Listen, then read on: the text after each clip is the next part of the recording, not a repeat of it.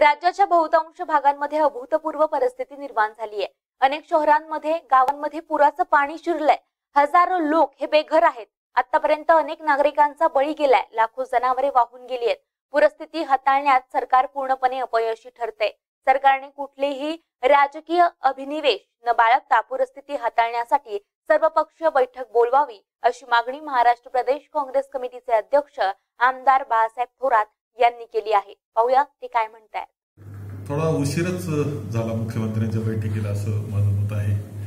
कारण ज्यावेळेस अत्यंत गंभीर परिस्थिती कोकणामध्ये होती मुंबईमध्ये होती संपूर्णपणे घाटमाथ्यावर आणि सांगली कोल्हापूर या सगळ्या परिसरामध्ये पाणीच पाणी झालं होतं. अशा वेळेस तातडीनं बैठक घेऊन तशा प्रकारच्या सूचना देणं ही जबाबदारी शासनाची निश्चितपणे आहे.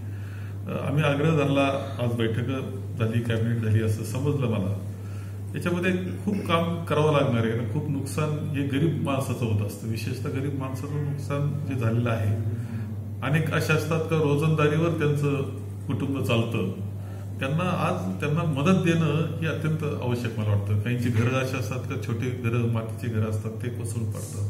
त्यांची काहीतरी व्यवस्था परत पुन्हा चांगल्या पद्धतीनं करणं आवश्यक असतं. ज्यांचं याचं नुकसान झालं त्यांना मदत ही झालीच पाहिजे. आज सोळा लोक दगावणं ही खूप मोठी घटना आहे. आणि ते आपल्याला राज्यामध्ये झालेलं दिसतंय. मुख्यमंत्र्यांनी माझं मत असं की या बाबतीतली एक सर्वपक्षीय बैठक सुद्धा या गंभीर परिस्थितीवर चर्चा करण्याकरता घेतली पाहिजे.